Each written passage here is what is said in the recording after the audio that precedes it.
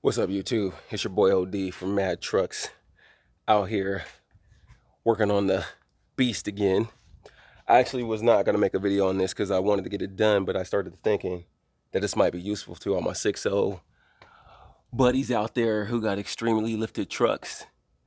What I'm doing is I am doing a carrier bearing drop from PMF and I'm running, um, like uh, some of you may know, a 12 inch lift on a 2005 6.0 with 40s. And I have, um, I do have pretty big blocks in the back. I'll show you in a second. And I have traction bars. And when I put those on, I was thinking that it should not be giving me these vibrations with these traction bars, even though I have um, these blocks. Did a little bit of research come to find out that my carrier bearing being up too high could be causing some vibrations. So I decided, what the heck, I'm going to put this carrier bearing drop kit on um, and see if that helps with the vibrations. But let me show you what we're looking at for my suspension lift in the back. So as you can see here, I have a seven inch block. And I know a lot of people don't like blocks, but let me tell you why I have that block. Because honestly, I don't like blocks either. But I got these um, Deaver springs when I did my first lift. These are five inch Deaver leaf, 10 leaf springs, which are pretty good. They actually made an eight inch spring back when I got it, but they discontinued that one because um, later on I wanted to buy it and, and I couldn't. So I like those Deaver springs and I didn't want to buy new springs. So I ended up doing, going the easy route and getting the PMF lift blocks. And I figure I'm gonna change them out eventually someday, but right now they really don't bother me. And like I said, I put these um, traction bars on here, as you can see, and they're pretty sturdy. They're pretty sturdy. And I just got them bolted up to the frame right there. And those are PMF too. So what I'm working on is, you can see here, got my carrier bearing unbolted. That's all I've done so far because like I said, I wasn't actually going to videotape this. All I'm doing right now is taking out the old hardware. So there's a little box I got up there. So this little box right here, little drop bracket, stock drop bracket, I'm taking that out and I'm going to replace it with the PMF version, which I'll show you in a second. So let me get back to this um, and I'll show you what I'm working with. Okay, so here's the PMF unit. And basically what this does, is it gives you, number one, more drop. It has much more drop than uh, even um, the carrier. I had carrier bearing drop plates in there that were like two inches. Uh, this gives you four inches of drop. And as you can see, these slits, there's adjustability forward and backwards. And here is the plate where your um, your carrier bearing will bolt onto this plate, and this plate has adjustability as well. So you can move this up, down, you can angle it, up, move it up and down. So it's going to give you much more adjustability on where you can put your carrier bearing. And I'll show you how that affects the drive line once I get it mounted up. So I'm to go ahead and get to putting this on or finish taking the other old one off and then putting, bolting this up. And then we'll see um, once I get to the point where I can start adjusting it, show you how that works.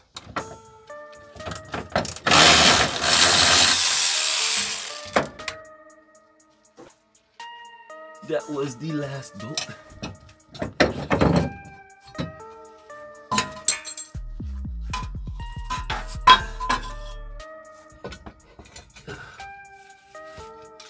Just enough.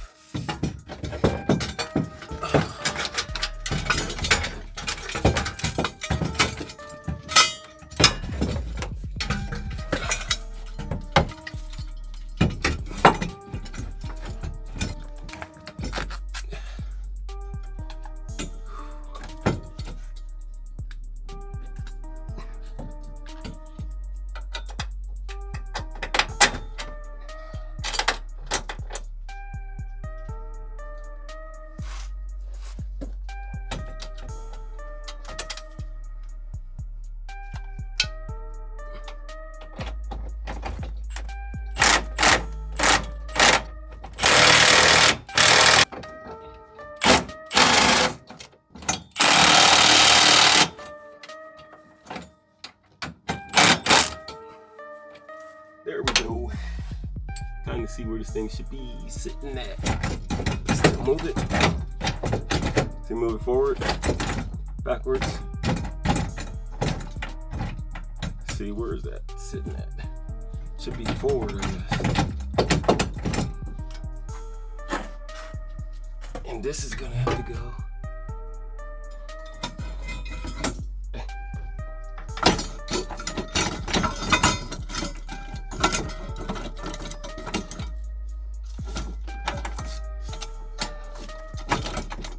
Tight fit. That is a tight fit.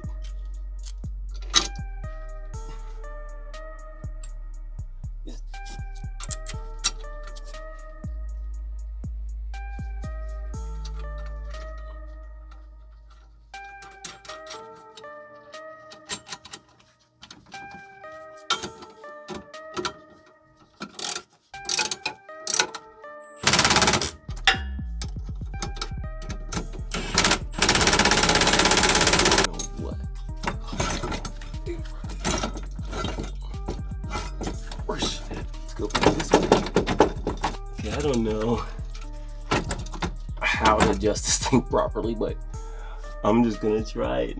So over here, um, you can't really see down here, but I'm trying to make sure that this angle um, of the carrier bearing is kind of straight with the axle. And it's kind of hard to see up close. I think I'll go back a tiny bit.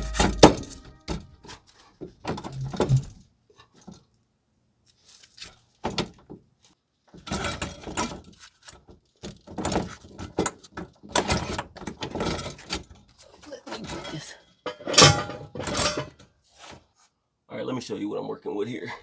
I'm gonna have to mark this angle and then take this back out so I can screw that in. That's what I'm gonna have to do. First, I'm gonna get those bolted in up top, a little bit.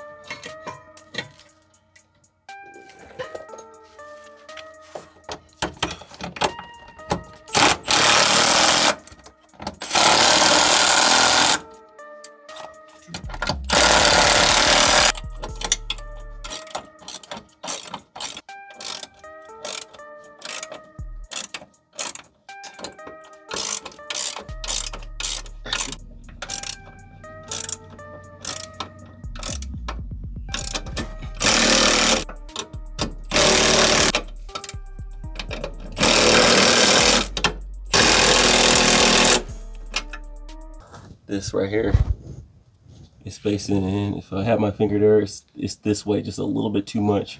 I'm gonna take this and take it back that way just a little bit. The camera is exaggerating. It's not that far off, but it is off a little bit. So I wanna see how hard it is for me to just loosen it and then adjust that. So let me try to do that and then I'll let you guys see if I got it straightened out. Okay, I'm back. That wasn't too bad. So I was able to get it. Let's see if you can see the difference. I mean, I'm gonna turn the camera this way, but you can kind of see now it's a little bit more in line, a little bit straighter with the axle or lined up with the axle. So what I'm gonna do now is go back through, tighten all the bolts down, and then take it for a test drive. So I will see you when I'm on the road checking it out. All right, I am back. We are in the truck now. So let's see if this, uh, I got everything tightened up underneath. So we're going to take a test drive and see if this carrier bearing drop um, help with my vibrations. I really hope that this uh, helps with the vibration. It wasn't really bad, bad, but now that I got um, my engine right and I'm putting some power down, I just want to be able to get on it with no vibrations. Because I feel like that's putting too much pressure on my drive line and my U-joints and things. go, let's go. The next uh, project I'm going to be doing, just so you know, is the hydraulic uh, ram assist, PSC ram assist. Because these 40s, uh, let's see. Oh, the vibrations, no, hold on, hold on, let's see. They're definitely better. It's definitely improved, definitely improved.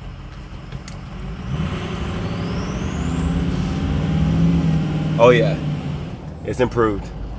I, I mean, like, it's a that's a little tiny, tiny bit, but before it was it was much more evident. Now it's much more improved. Much more improved. Uh, my son is calling me. Hold on. All right, sorry about that, guys. My son was calling me, interrupted my video because I'm using my phone right now. just making this quick video uh, with my phone.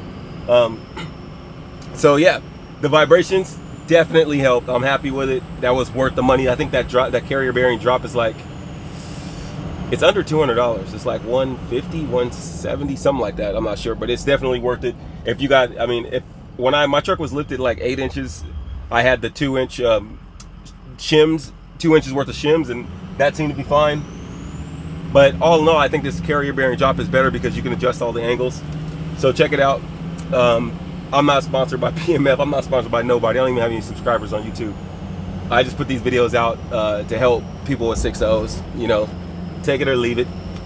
This is just a short video because when I went to put this carry bearing drop in, um, I didn't see any out. I didn't see any videos with good information. I even went to their site. Their site kind of shows some pictures, but um, anyway, if anybody decides to do it, you got this video video to reference, and maybe you can do it easier than I did it and find a better way.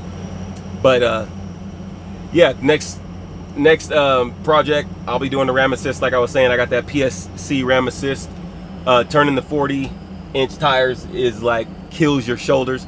I even have the um, upgraded redhead steering, the um, heavy duty one, and it's still tough. So when I when I do that Ram um, Assist, I'll video that and I'll show you um, the upgraded steering box, what that looks like, and the uh, Ram uh, Hydro Assist components that I got and that should be nice. And then after that I think I'm just gonna be doing fuel system putting an AirDog and I, I'm pretty much done. This baby is is uh, ready to rock and roll. Anyway just another short video. It's your boy OD from Mad Trucks. I'm out